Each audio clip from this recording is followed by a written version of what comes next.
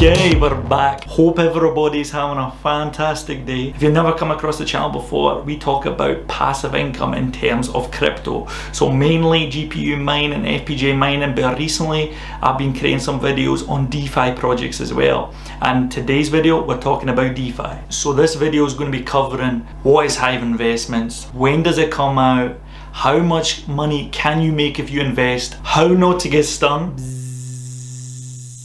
and also should you invest? So let's get straight in there. Come on, let's do it. So I've heard that the white paper is going to be coming out very soon, within 24 hours probably of this video going out. I'm still going to release this video, but what I've decided to do is I'm going to do an update covering the white paper, and what I'll do is I'll link that video when I've produced it down below in the description box. So if you want to check that out, it's going to be down there for you. Okay, let's do it. So we're over here on Hive Investments Twitter account. And for the project not up and running, they already have nearly 19,000 Twitter followers. And you can see that they've been super active on Twitter as well. They got 3,300 posts, which is a lot considering that they don't have anything up and running at the minute. And it says introducing hashtag Hive, a Polygon based DAAS project built by bees for bees to take over DeFi. Okay proudly a core protocol of the Union of Transparency, hashtag UOT. And you can see here they're saying they're on the Polygon network and they have a link to their Medium, which is right here, which we're going to have a wee read on. And you can see on Twitter here they have very slick graphics.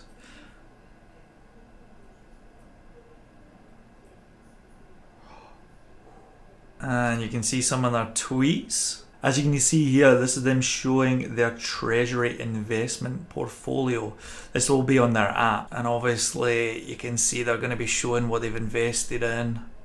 It's very, I would say actually a very nice looking DApp. If you go and compare it to like Thor and stuff like that, this is pretty clean cut, which is quite nice. Again, the art department's doing a quite good job. Looks like they're doing some sort of Minecraft bee design here. Here's some of the NFTs, the bee NFTs. Here's another still of the DApp, and you can see obviously this is on the home. And you can see to mint your NFT, you're going to get a bee NFT obviously. There's different levels here as well they're trying to show you, and they're trying to show you here as well the price as well. So they'll be able to show you price, how many worker bees, and different types of uh, tiered products, uh, how many there are on the network, and all that sort of good stuff. Here on their Medium or Medium and this is an intro to Hive and they're calling it DAAS 2.0. So I'm just going to pick out a few highlights that I think from this page that are interesting and that you should consider when looking into investing in this project. It says here Hive is set to change the face of DeFi as a service, brackets DAAS, with its unique and optimized operating model. And then it goes on, it says conceptually, DAAS presents many opportunities along with its fair share of challenges, which we have all seen or experienced. To be truly unique, Hive aims to analyse and address both the opportunities and challenges to create a collective that is strong, sustainable, and successful for many years to come. It goes on and says, We have all seen other protocols launched without audits, inadequate penetration testing, KYC, brackets third party docs and token white papers, all leading to excessively high risk profiles with little to no reassurance of the longevity of ongoing returns. Now, tell me about it. There's loads of investment DeFi projects like this. If they actually truly do some of this stuff, wow, it's going to be fantastic. And they go on to say they're going to be bringing transparency, reliability, sustainability. They're saying high level of security and they're saying that they're going to be giving you that high level of security by being KYC'd and also being multi-sig.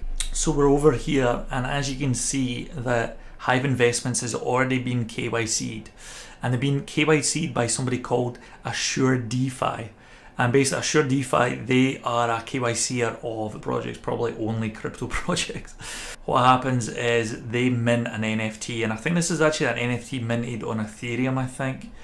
Um, so it's there to stay, and obviously it's owned by Hive Investments, from what I gather. So in terms of how much do I value this KYC in by Assure, I don't value it that highly. And the reason I say that is who are Assured DeFi? And if you go and look at who Assured DeFi is, they don't even really disclose who they are themselves. We go over to the CEO of Assured DeFi and you see it's basically just a Twitter account and a Telegram account. And and you can see they say stuff like US Mexico border tunnels as their location. So they're kind of taking the piss with it a wee bit, to be honest. And yeah, I don't know. I just don't value. I don't have that much confidence, to be honest. The only person you can see here that's actually got their face to the project is uh, Taylor Keys. To be fair to her, you can actually see she has like a legit person by the looks of it, and she's obviously you can see that she's got her education, and this is a legit person. So it's good that somebody is actually putting their face to this and actually putting their their name to this. But I mean to be honest, this doesn't inspire me with confidence with the CEO not being out there. Same in the marketing person, same with customer service. They're not really showing themselves. And you can see they're saying fast 24 hour, 48 hour standard turnaround, um, all that sort of good stuff. You can even pay for a same day service. So like I mean how how in depth are they actually going on this? Are they actually able to verify that it's the correct person? So I just doubt it a wee bit. Like you can you can pay more to get it verified in the same day, all that sort of stuff, and it's like uh, yeah, very dubious. Assure's identity verification processes are compliant with these standards. And you can read them off there yourself. And I gotta say, like, if there's anyone who knows about these standards, are these standards legit? Let me know in the comment section below. I don't know too much about them myself. Basically, all I'm saying is without doing any more research, do I feel really confident that Sure DeFi is a fully trusted service?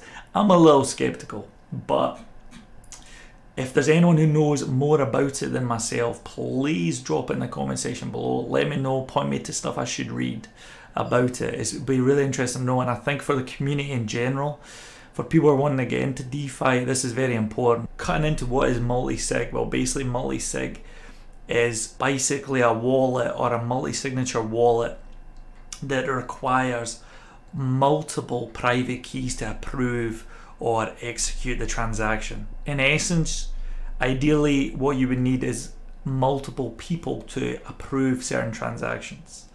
But obviously it's dependent on who has access to the particular wallets for signing the transaction. So you could have multi-sig and actually it could still be one person who's approving the transfer. On Hive Investments, it's not actually discussed in the minute who's going to be or what system they're going to be using for multi-sig, but uh, I'm sure we'll find out the details about that at some point in the future. So possibly this could be one of the products that's used for doing the multi-sig and they're called Gnosis Safe. So we'll see if they get used, but I have seen it used by other projects in the past, this type of multi-sig. Are also going to be getting an audit done in order to make sure that their uh, code and their DApp and all that sort of stuff can withstand hacks. Um, so that's always encouraging, obviously, to make sure there's no weaknesses in the system. However, here saying protection in bull and bear markets. So they're saying there's a lot of fluctuation in the cryptocurrency market, as we all know, ups and downs. So in order to provide protection, what they are saying is that they have an emergency mechanism where the team or they can cut 50% of their rewards during massive market downturns to ensure stability. And that's obviously a protection against market volatility. So I think that's just something to note that they do have built-in mechanisms into probably an imagine smart contract to be able to do that.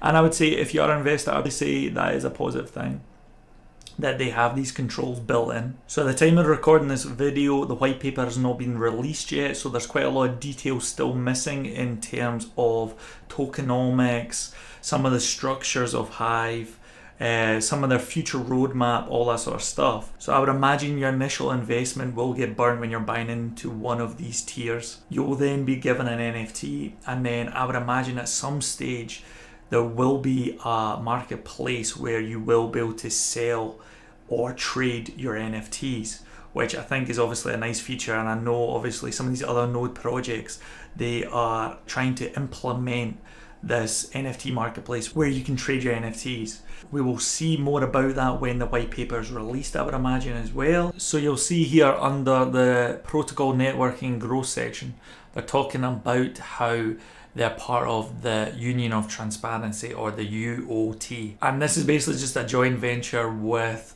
Thor and one or two other partners where they're trying to where they're trying to push a message of trustworthiness, transparency, all that sort of good stuff. You can also see that they're saying that they're trying to do this in order to increase their total audience reach. And you can see here over on Twitter, this is the Union of Transparency, and you can see that this Twitter account was created in January 2022.